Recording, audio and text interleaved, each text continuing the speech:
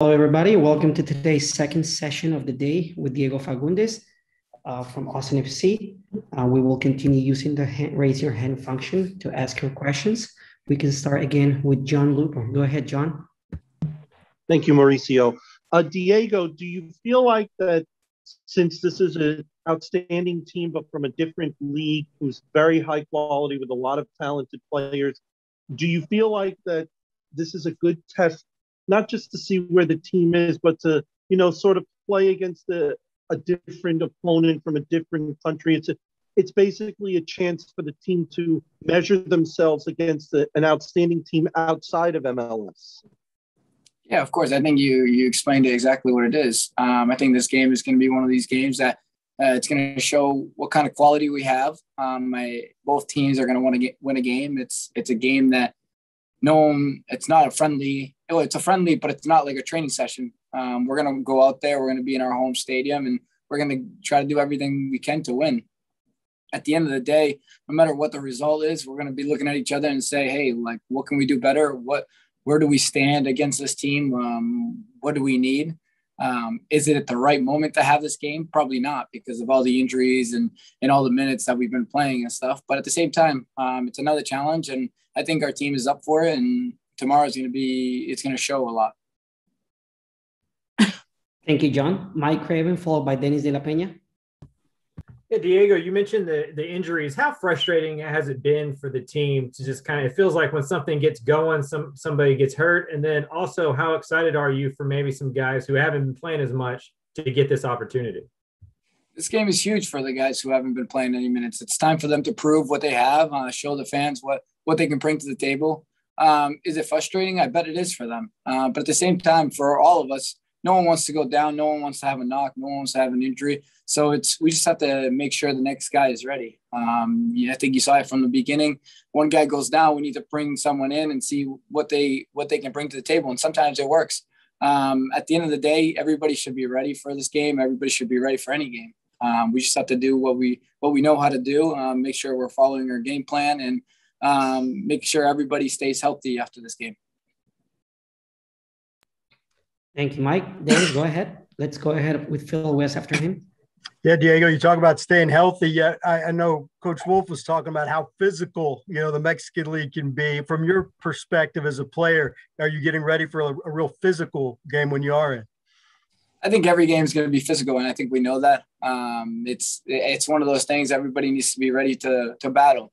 Um, they're not going to come out here and just make this seem like a training session. They're going to come out here to challenge us, uh, to play rough against us. They're going to, they're going to kick us. We're going to, we just have to be up for it. Uh, but we also be, need to be smart. We don't want no more injuries in this, this time of year. Um, we have too many. So um, I think if we, if we're smart and we move the ball around, keep the ball and, and do what we're, we know how to do, I think we can, uh, we'll definitely be all right. And and what is I don't know your experience with international friendlies, but the spectacle of it all. What do you expect Tuesday night to be like?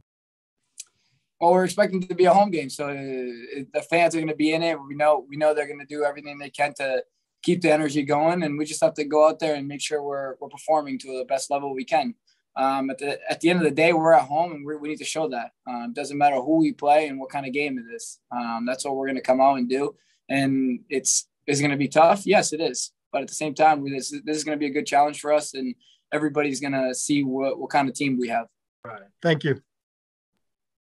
Thank you, Dennis. Phil West, followed by Jorge Iturralde. Yeah, just given all the injuries and just kind of the limited selections, are there any particular teammates of yours that you expect to to see step up tomorrow night? I think I, th- I think everybody knows there's a, there's a lot of players who haven't been playing a lot of minutes, and I think those are the guys that need to step up. Um, at the same time, no matter who's on the field, they're going to have to step up and and uh, do the role someone else is doing. Um, no matter if you're playing 20 minutes, 30 minutes, 90 minutes, 60, whatever it is, everybody needs to step up and and bring something to the table. Um, it's not going to be an easy game, and I think we're going to use as many players as we can. Maybe every single player gets to play tomorrow, and that's that's what's nice about these games. It's a friendly game, and you can uh, change things up. You can challenge players to see what they can bring, um, and of course, we want to see goals. I think everybody wants to see goals in the stadium, and and hopefully we can celebrate a couple tomorrow. Thank you very much. Jorge Iturralde, go ahead. Hola Diego, eh, tengo dos preguntas. La primera, eh, Tigres es, es, un equipo que en la última década ha sido el mejor de México, pero también fue el único que les mandó un mensaje de bienvenida a, a ustedes cuando tuvieron su primer partido en casa. Eh, ¿Algún sentimiento especial entre las dos instituciones? Esa es la primera pregunta. La verdad que es algo muy lindo que lo mandaron un video. Eh, sabemos que como nuevo equipo el, el, soporte de otros, de otros cuadros es muy lindo tener. Eh, y este partido amistoso va a ser algo lindo para los dos. Ellos se están preparando para empezar la, el año de ellos y nosotros estamos, es un partido amistoso que podemos, que jugadores que no juegan mucho puedan entrar y demostrar mucho. Eh, así que va a ser algo lindo, un día especial para los dos equipos y nosotros vamos a poder mirarnos a cada uno y ver cómo estamos como equipo. Eh, y ellos se van a preparar para empezar el año fuerte. Y especialmente algo que le pregunté a Josh también, eh, y yo creo que tú lo sabes porque has, estado más de cerca con, con, la afición. Las aficiones de Tigres, nosotros en Club Deportes, las aficiones de Tigres y de Austin FC se parecen demasiado, son muy apasionadas. Eh, va a haber mucho gente de los libres y locos. ¿Eso es algo que hace, digamos, el partido especial para ustedes? Mira, creo que de lo que escuché, me dijeron que hay mucha gente de Tigres aquí en, en Austin. Eh, y creo que también hay muchos de los fanáticos de nosotros vinieron de ahí y pudieron lograr eh, tener un, unos fanáticos muy lindos y todos los partidos ellos los mostraron, la energía, la pasión que tienen para este deporte y para nuestro equipo y para la ciudad.